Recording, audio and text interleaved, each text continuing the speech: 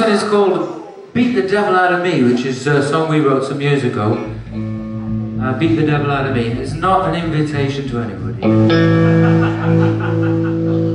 Here we go.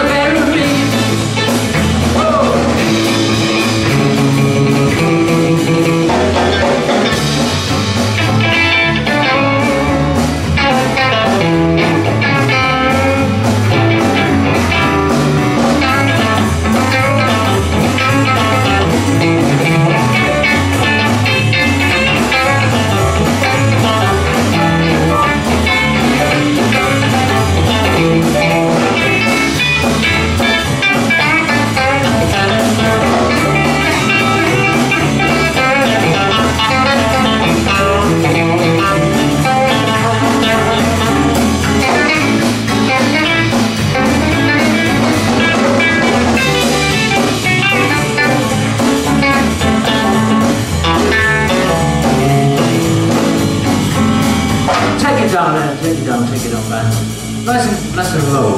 I'm going to introduce the band to you, ladies and gentlemen, because uh, I think they feel that they know you, and I think you need to know them. So all you have to do is say hi. First of all, on the drums, all the way from somewhere around here, is a young fellow we call Tall Paul, ladies and gentlemen, Paul Evans. Paul, Paul Evans. There it is, Tall Paul. On the bass guitar, all the way from Little Bloxwich in uh, Walsall. Uh, there he is, so a smashing play, so I won't have a word said against him.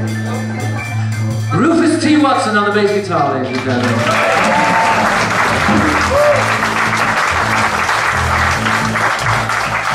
To my left on the organ, keyboard, and uh, other such paraphernalia.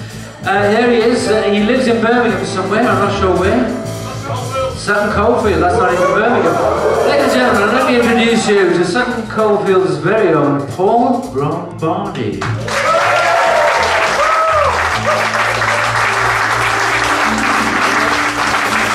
and his friend Kevin, who always comes with him. They're a pair. Who's he? I don't know. Who's this? Which one? Oh, you don't want to know, me. Frankie Williams. Frankie Williams. That is Frankie Williams. We're the Grey Goose Blues Band, so uh, he's going to see us again sometime, somewhere. We're always on somewhere. Yeah.